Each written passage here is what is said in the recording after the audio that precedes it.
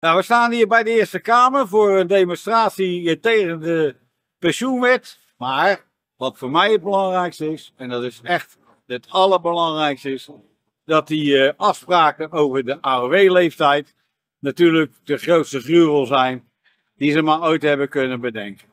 De huidige generatie die geboren wordt, dus als je nu bijvoorbeeld vader of moeder of uh, opa of oma wordt van een babytje, dan uh, krijgt diegene, hè, dan kan je dan ook gaan vertellen, joh, kleinzoon of kleindochter, dochter, zoon, je krijgt helaas van de regering pas bij 79,9 jaar je AOW.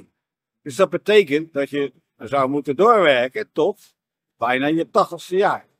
En volgend jaar gaat die leeftijd van de AOW weer omhoog, als het aan uh, onze regering ligt.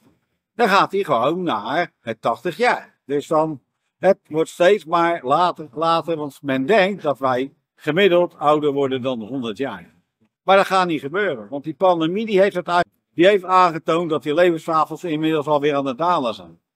In 2035, 37 zal die babyboomers zoals wij, die zullen verdwenen zijn. Dan gaat die leeftijdstafels, die gaan naar beneden. En dan zou dus in principe gewoon die AOW-leeftijd weer naar een normaal niveau kunnen dalen, zoals 65 jaar bijvoorbeeld. Dat je vanaf je 15e jaar aan de AOW kan opbouwen voor 50 jaar. Maar dat doen ze dus niet. Dus dit is even de boodschap. Flexibele AOW, het eerder kunnen stoppen met werken moet geregeld worden. We hebben nu een RVU-regeling daarvoor. Stop 1 januari 2025. We hebben uh, binnen de FNV uh, afspraken daarover gemaakt om daarover te onderhandelen. Toch, om toch dadelijk uh, in, op jan, 1 januari 2025 een nieuwe, een verbeterde regeling, een RVU-regeling af te spreken met, het, met onze, onze sociale partners. Dat is belangrijk. Die moet definitief worden. Je moet gewoon minimaal drie jaar eerder kunnen stoppen met werken.